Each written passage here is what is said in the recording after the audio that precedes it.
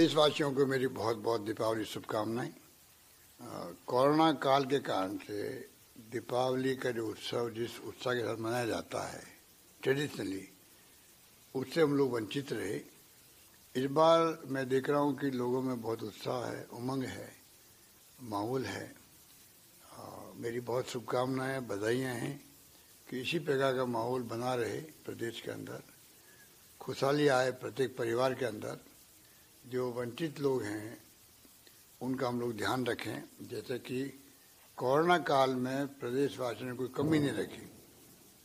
NGO थे भामाशाह थे, दानदाता थे, या एन- कोई भी वर्ग के लोग थे सबने एक दूसरे की मदद करी और कोरोना काल के अंदर कोई भूखा नहीं सोया, ये मेरी सोच थी।